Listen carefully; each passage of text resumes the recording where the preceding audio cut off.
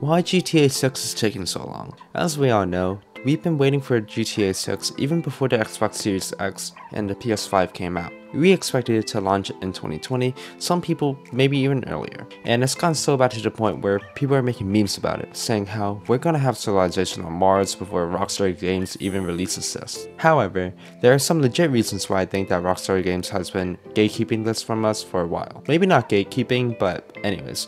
Number one, tech overhaul.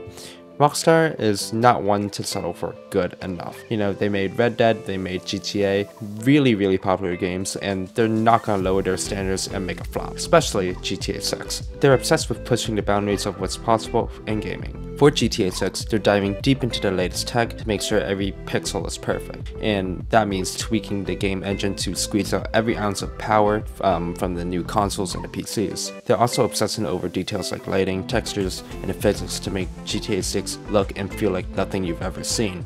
And an upgrade from GTA 5, that's quite hard. So I bet they're just their tech side of things it's definitely trying to improve and improve. Number two, perfect timing. Um, let's not forget about timing because Rockstar is not going to drop GTA 6 whenever they're going to feel like it. They're watching the market, waiting for the perfect moment to strike. They want to make sure that when, GT when GTA 6 finally hits shelves, the gaming world is ready and waiting with open arms. It's all about building the hype and maximizing sales, and it takes careful planning and strategy from the marketing team. Maybe they expected the demand of the game to be at its highest in 2025, and after that, they think they won't get as much hype anymore. That's why they're releasing it next year. Number 3. Epic Storytelling. Rockstar is not just gonna throw together a bunch of missions and calling it a day. They're crafting an epic narrative that will suck you in from the get-go. Think of it like a Hollywood blockbuster, but with even more twists, turns, and more dilemmas.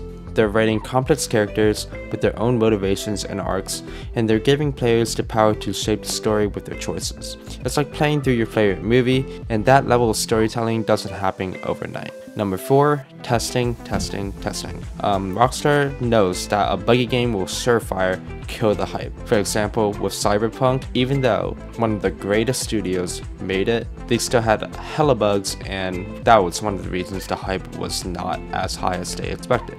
That's why they're putting GTA 6 through the wringer of extensive testing.